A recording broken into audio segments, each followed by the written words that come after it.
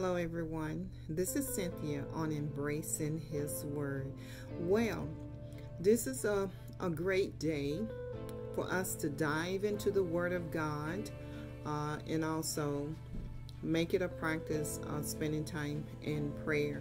I know that we are in challenging times and that we are battling uh, the COVID 19 virus. But this is a time that we can come together and begin to just draw close, draw near to God, and you know, just pray up and begin to pray and intercede not just for yourself, but on the behalf of your family. Matthew or Luke 21 36 says, Watch ye therefore and pray always that ye may be accounted worthy to escape all these things that shall come to pass and to stand before the Son of Man. That was Luke 21 36. So, in this particular passage, Jesus is speaking to his disciples and he's uh, letting them know to be watchful because when the end times come near, they definitely need to be watchful. And he's exhorting them to pray always. Why do Jesus want us to pray always? Because he do not want us as believers in Christ to succumb to the spirit of fear. We don't want to subject ourselves to the spirit of fear, regardless of who is around us that may be projecting fear. We want to be strong and we want to be courageous, especially in these end times. Are we in the end times? I definitely believe that the end time is coming very near.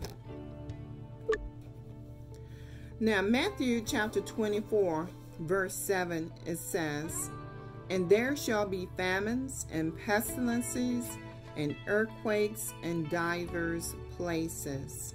You know, um, I know that this COVID 19 virus, definitely, if you look at it in the natural realm with your and and you deal with it and within your natural way of thinking, you could easily succumb to fear. But God wants us to keep our eyes focused upon Him, knowing that we are definitely protected as believers in Christ. Now, the message that I'm giving to you today is not to frighten you or to increase any fear, but the message is that as a believer in Christ, that we need to be on guard, we need to be watchful, very prayerful. We need to surrender our hearts completely to the Lord Jesus Christ and praying that God will bless us to escape the things that's coming upon the earth. Now, pestilence, the definition of a pestilence is any epidemic disease that is highly contagious, infectious, virulent, and devastating. Now, in the Old Testament, uh, the pestilence uh, from Numbers chapter 16, let's look at that. Numbers chapter 16. Now, let's look at Numbers chapter 16. Now, the word pestilence, you don't hear that very much because that, that is more of an Old Testament term um, back in the old biblical days. But pestilence definitely does exist today because there are definitely some pestilence going on in the United States, um, other nations. So let's look at, at the Word of God from the Old Testament. This is Numbers chapter 16, starting at verse 41. It says, But on the morrow, all the congregation of the Israelites murmured against Moses and Aaron, saying, You have killed the people of the Lord. When the congregation was gathered against Moses and Aaron, they looked at the tent of meeting, and behold, the cloud covered it, and they saw the Lord's glory. And Moses and Aaron came to the front of the tent of meeting. And the Lord said to Moses, Get away from this congregation, that I may consume them in a moment. And Moses and Aaron fell on their faces. And Moses said to Aaron, Take a censer and put fire in it from off the altar, and lay incense on it, and carry it quickly to the congregation, and make atonement for them. For there is wrath gone out from the Lord, the plague has begun. So we see that the anger of the Lord was, really stirred against the nation of Israel because of their mumbling, their grumbling. They were not really grumbling and uh, mumbling against Moses and Aaron, but in fact, they were mumbling against God. So God had his fill of the nation of Israel, and he became very angry at the Israelites and he wanted to just destroy them.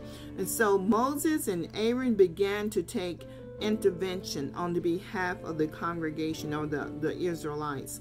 It says, So Aaron took the burning censer as Moses commanded and ran into the midst of the congregation. And behold, the plague, here that word is again, the plague or pestilence, was begun among the people. And he put on the incense and made atonement for the people. And he stood between the dead and the living and the plague was stayed. Now those who died in the plague were 14,700, besides those who died in the matter of Korah. And Aaron returned to Moses to the door of the tent of meeting, since the plague was stayed. So we see that how a plague and a pestilence can be released into uh, against a people or, or into the earth realm, the the atmosphere. So it definitely comes from rebellion. And the scripture says rebellion is as a sin of witchcraft. And so we, as a people of God, we definitely have to uh, examine our hearts, make sure that we are in alignment with the Lord Jesus Christ. You see, many things have been going on in this nation for years not just this nation. I believe God is shaking the nations and stirring them up, trying to get the attention of not just the uh, church, but the attention of people worldwide. This is a day, this is a time uh, that we really need to turn our hearts unto God and repentance, brokenness, and contriteness. So this message is basic, basically a message that we are to uh, watch, we are to pray.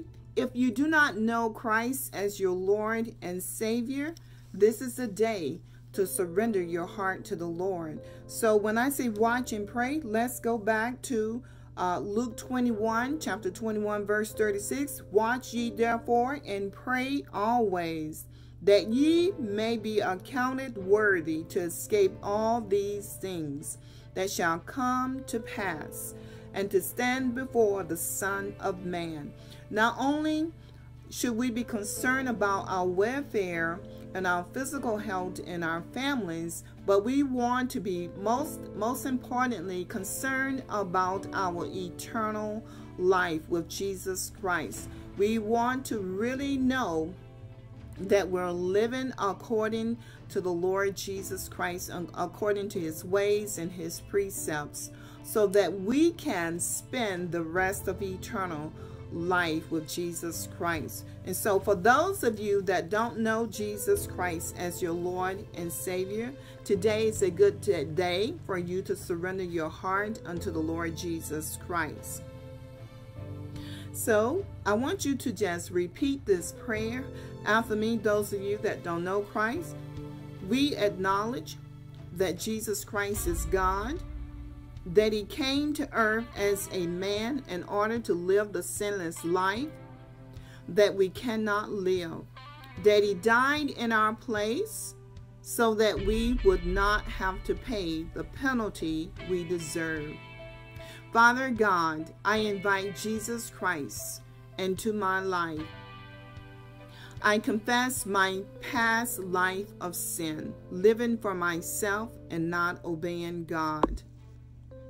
I confess that Jesus Christ is the Son of the living God. I admit that I am ready to trust Jesus Christ as my Lord and as my Savior. So I ask Jesus to come into my heart, take up resident, residence there, and begin living in this body of mine.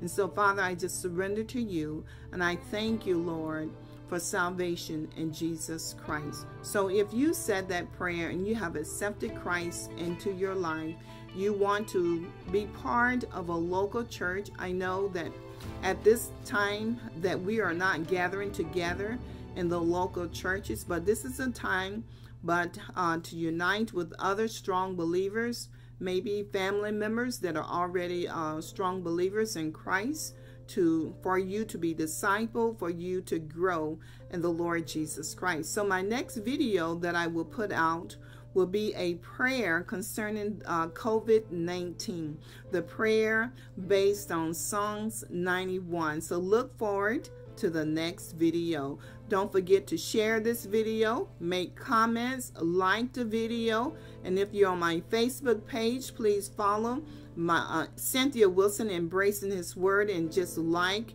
and follow so that you'll get my new content. Be blessed and have a wonderful day.